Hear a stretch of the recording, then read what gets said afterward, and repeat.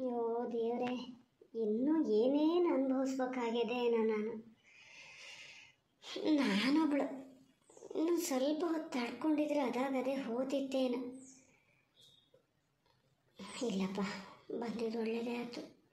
ಹೇಳಿದ್ರಲ್ಲ ಡಾಕ್ಟ್ರು, ಇನ್ನೊಂದು ಹದಿನೈದು ದಿವಸ ಹಿಂಗೆ ಇದು ಮಾಡಿದರೆ ಏನೇನೋ ಅನಾಹುತ ಅದು ಬೇಡ. ಓದಿದ್ರೆ ಬೇಡಪ್ಪ, ಆ ಥರ ಎಲ್ಲ ಒಂದಾಗೋದು ಬೇಡ. ಹಂಗೇನಾದ್ರೂ ಒಂದು ಸತಿ ಜೀವ ಹೋದ್ರೆ ಚಿಂತೆ ಇಲ್ಲ ಅತ್ಲಾಗೆ ಅಪ್ಪಾಜಿ ಅಮ್ಮಗೆ ಭಾಳ ಬೇಜಾರಾಗ್ತದೆ, ಆದರೂ ಸ್ವಲ್ಪ ದಿವಸ ಸುಧಾರಿಸ್ಕೊಂತಾರೆ. ಹೆಂಗೂ ಪೂಜೆ ಪೂರ್ವಿಕ ಇದ್ಲಲ್ಲ. ದೇವ್ರೆ ಎಂತ ಹೀಗೆಲ್ಲ ಯೋಚನೆ ಮಾಡ್ತಿದ್ದೀನಿ ನಾನು ಅಂತ? ಓ, ನಾನು ಮೊಬೈಲ್ ತರಲೇ ಇಲ್ಲ. ಫೋನ್ ಮಾಡ್ತಾನೇ ಇದ್ದಾರೆ ನೀವರು ಹೇಳಾರು ಹೇಳ್ಬೋದಿತ್ತು, ಹಿಂಗೆ ಹಿಂಗೆ ಅಂತ. ಬರ್ತಾರೆ ಅಂತ ನೋಡ್ಬೋದಿತ್ತು. ಬಂದಿದ್ರೆ ಸರಿ ಆದೈತೆ ಇಲ್ಲಿ ಡಾಕ್ಟ್ರ ಚೆನ್ನಾಗಿ ಉಗಿತಿದ್ರು. ಹಿಂಗಿದ್ದನ್ನು ಏನೇನೋ ತಿಳ್ಕೊಂಡಿರಲ್ಲ ಅಂತ.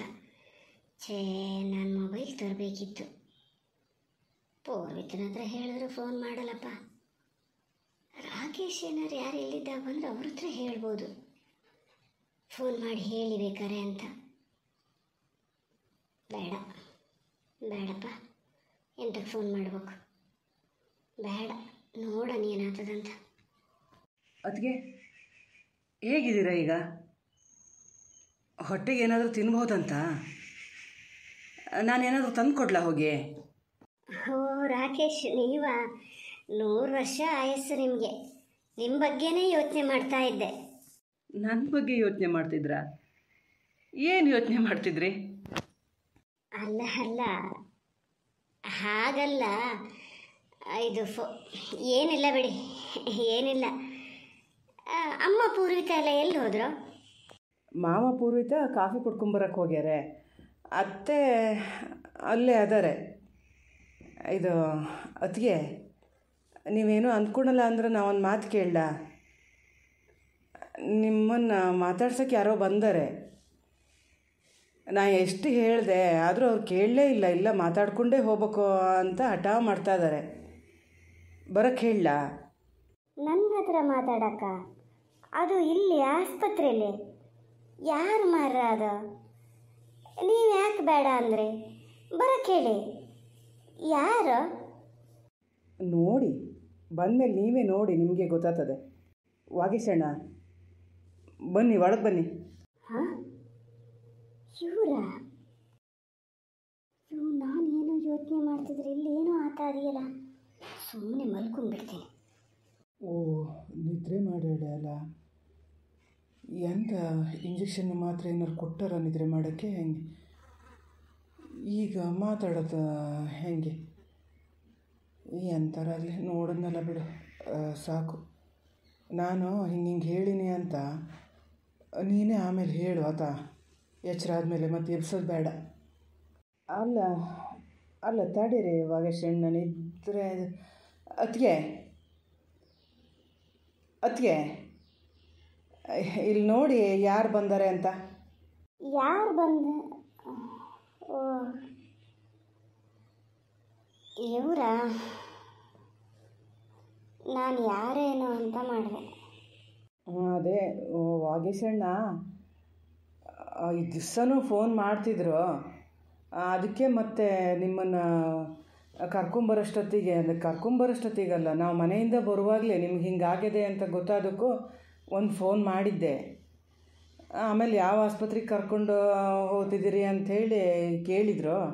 ಹೇಳಿದ್ದೆ ಅವರು, ನಮಗಿಂತ ಮುಂಚೆ ಬಂದಿಲ್ಲ ಆಸ್ಪತ್ರೆಯಲ್ಲಿ ವೆಯ್ಟ್ ಮಾಡ್ತಾಯಿದ್ರು ನೀವು ಇಲ್ಲಿ ಒಳಗೆ ಬಂದರೆ ಏನು ಅಂತೀರೇನೋ ಅಂದ್ಕೊಂಡು ಅಲ್ಲೇ ಇದ್ದರು ನಾನೇ ಮತ್ತೆ ಒಳಗೆ ಕರ್ಕೊಬಂದೆ ಎಂಥದೋ ಮಾತಾಡಬೇಕು ಅಂತಿದ್ರು ನಿಮ್ಮ ಹತ್ರ ಬೇಜಾರು ಮಾಡ್ಕೋಬೇಡಿ ಅತ್ತಿಗೆ.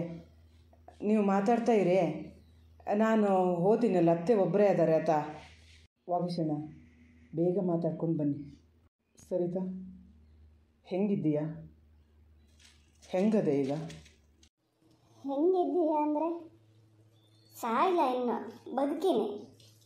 ಯಾವಾಗ ಸಾವು ಬರ್ತದೆ ಅಂತ ನೋಡ್ತಾ ಇದ್ದೀನಿ. ಅದನ್ನೇ ದಾರಿ ಕಾಯ್ತಿದ್ದೇನೆ. ಥೋ ಒಳ್ತು ಅನ್ನು. ಅದು ಏನು ಆಸ್ಪತ್ರೆಯಲ್ಲಿ ಕೂತ್ಕೊಂಡು ಅದು ಎಂತ ಮಾತಾಡ್ತೀಯ ನೋಡೋಣ ಹೇಳ. ಆಗಿದ್ದೆಲ್ಲ ಆತಲ್ಲ, ನಾನು ಅವತ್ತೇ ಹೇಳಿದೆ ನನ್ನ ತಪ್ಪು ಅಂತ ನಂಗೆ ಗೊತ್ತಾಗಿದೆ ಅಂತ. ಮತ್ತೆ ಮತ್ತೆ ಅದನ್ನೇ ಹೇಳ್ತೀಯಲ್ಲ? ಆ ಕ್ಷಣದಲ್ಲಿ ನಂಗೆ ಏನು ಮಾಡಬೇಕು ಅಂತ ಗೊತ್ತಾಗಲೇ ಏನೇನೋ ತಲೆಗೆ ಬಂತು. ಗೊತ್ತಾಗಿದೆ ನನಗೆ ತಪ್ಪು ಅಂತ. ನಿಮಗೆ ತಪ್ಪು ಅಂತ ಗೊತ್ತಾಗ್ಬೇಕಾದ್ರೆ ಮುಂಚೆ ಅನುಭವಿಸಿದ್ ನಾನಲ್ಲ. ಒಂದು ಎಂಟು ಹತ್ತು ದಿನ ಎಷ್ಟು ನೋವು ಅನುಭವಿಸಿನಿ ಅಂತ ನನಗೆ ಮಾತ್ರ ಗೊತ್ತು. ನಿಮಗೆ ಹೆಂಗೆ ಗೊತ್ತಾಗ್ತದೆ ಅದು ಎಷ್ಟು ಸಲೀಸಾಗಿ ಹೇಳಿದ್ರಿ? ತಪ್ಪು ಅಂತ ಗೊತ್ತಾಗಿದೆ ನನಗೆ ಅಂತ. ಅದನ್ನೆಲ್ಲ ಸರಿ ಮಾಡೋಕ್ಕಾಗ್ತದ ನಾನು ಕಳೆದ್ನಲ್ಲ ಇದನ್ನು ಆ ದಿನ ಮತ್ತೆ ನಿಮಗೆ ವಾಪಸ್ ಸರಿ ಮಾಡೋಕ್ಕಾಗ್ತದ ಏನು ಮಾಡಬೇಕು ಹೇಳು. ಅದನ್ನು ಸರಿ ಮಾಡಬೇಕು ಅಂದರೆ ಏನು ಮಾಡಬೇಕು ಹೇಳು. ಆಗಿದ್ದು ಆಗೋದು ಅಂತ ಹೇಳ್ತಿದ್ದೀನಲ್ಲ ಹಂಗಂತ ಜೀವನ ಪರ್ಯಂತ ಇದೇ ಥರ ಇರ್ಬೇಕಂತ ತೀರ್ಮಾನ ಮಾಡಿಯಾ? ಹಾಗೇನಾರು ಇದ್ದರೆ ಅದನ್ನು ಹೇಳೇ ಬಿಡು. ನಾನು ಒಂದು ನಿಶ್ಚಯಿಸ್ಬಿಡ್ತೀನಿ ಯಾವುದಾದ್ರು ಆಶ್ರಮ ಗೀಶ್ರಮ ಹೋಗಿ ಸೇರ್ತೀನಿ. ಹಾಗೆ ಮಾಡಿ. ಮತ್ತೆ ಇಲ್ಲಿ ಯಾಕೆ ಬಂದ್ರೆ? ನೋಡು, ನಾ ಎಷ್ಟು ಸತಿ ಹೇಳ್ತಿದ್ದೀನಿ, ಅವತ್ತು ಹೇಳಿದ್ದೆ, ಇವತ್ತು ಹೇಳ್ತೀನಿ. ಅಪ್ಪನೂ ಇವತ್ತು ಬರೋರಿದ್ದರು ಇಲ್ಲಿ, ಮತ್ತು ನೀನೇನಾದರೂ ಬೈಯೋದು, ಯಾಕೆ ಸುಮ್ಮನೆ ಬೇಡ ಅಂತ ನಾನೇ ಮನೇಲಿ ಬಿಟ್ಟು ಬಂದೆ. ಎಷ್ಟು ಗಾಬರಿ ಆಗಿರೋ ಗೊತ್ತಾ ಮನೇಲಿ ಎಲ್ಲರೂ, ಹೀಗೆ ಅಂತ ಗೊತ್ತಾದಕ್ಕೂ. ಅದನ್ನೆಲ್ಲ ಹಳೆಯದೆಲ್ಲ ಬಿಡು ಅತ್ಲ ಹೇಳ್ತಾ ಕೂತ್ರೆ ಅದೇ ಇದಾಗ್ತದೆ ಸಚಿನ ನಿನ್ನ ಮೊಬೈಲಿಗೆ ತುಂಬ ಫೋನ್ ಮಾಡ್ತಾ ಇದ್ದಾನಂತೆ ರಿಸೀವ್ ಮಾಡ್ತಿಲ್ಲ ಅತ್ಗೆ ಅಂತ ಬೇಜಾರು ಮಾಡ್ತಿದ್ದ. ಹಿಂಗೆ ಅಂತ ಹೇಳದ್ನ, ಅವನು ಭಾಳ ಟೆನ್ಷನ್ ಮಾಡಿಕೊಂಡ. ಬೆಂಗಳೂರಿಗೆ ಕರ್ಕೊಬಂದ್ಬಿಡಿ ಅಲ್ಲಿ ಬಿಟ್ಕೊಳೋದೇ ಬೇಡ, ಬೆಂಗಳೂರಿಗೆ ಕರ್ಕೊಬನ್ನಿ ಇಲ್ಲಿ ಟ್ರೀಟ್ಮೆಂಟ್ ಕೊಡಿಸಿ, ಆಮೇಲೆ ಒಂದು ತಿಂಗಳು ನಮ್ಮ ಮನೇಲೇ ಬಿಟ್ಕೋತೀನಿ ನಾನು ಅಂತ ಹೇಳ್ತಾ ಇದ್ದ ನಾನು ಈಗ ಒಂದು ಕೆಲಸ ಮಾಡೋಣ. ಇಲ್ಲಿ ಎಂಥ ಟ್ರೀಟ್ಮೆಂಟ್ ಕೊಟ್ಟಾರೋ, ಏನು ಮಾಡ್ಯಾರೋ ಅದೆಲ್ಲ ದುಡ್ಡು ನಾನೇ ಕಟ್ತೀನಿ.